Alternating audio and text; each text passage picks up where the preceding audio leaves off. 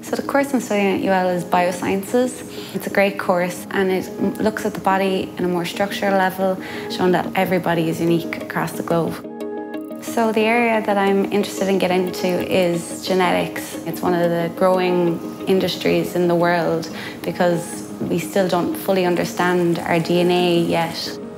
Part I enjoy most about bioscience is the lab experience. This year we got to genetically engineer bacteria to take up a new gene to see do they break down a certain chemical.